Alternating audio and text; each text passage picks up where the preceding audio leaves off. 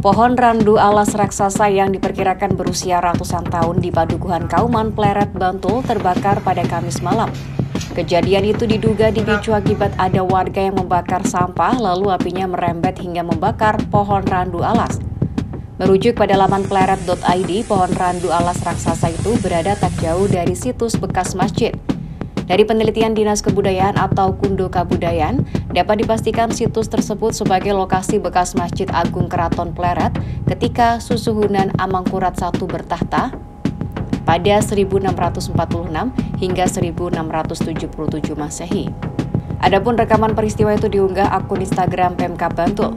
Dalam video berdurasi 20 detik itu terlihat jilatan api membakar sebuah pohon besar yang sudah disangga agar tidak roboh. Dalam keterangan unggahan tersebut diketahui pohon randu alas raksasa ini berada di samping situs Masjid Kauman Pleret. Dihubungi terpisah, Kepala Bidang Damkarmat BPBD Bantul, Irawan Kurnianto menyampaikan pihaknya mendapatkan laporan pohon randu alas terbakar sekitar pukul 6 petang.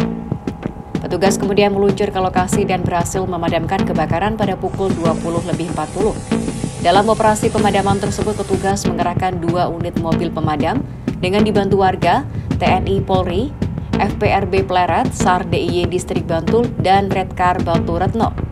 Menurut dia, kebakaran bermula ketika ada warga yang membakar sampah. Api pembakaran sampah itu kemudian merembet dan membakar pohon randu alas.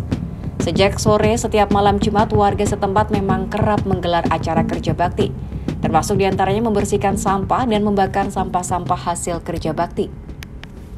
Download Tribun X sekarang menghadirkan lokal menjadi Indonesia.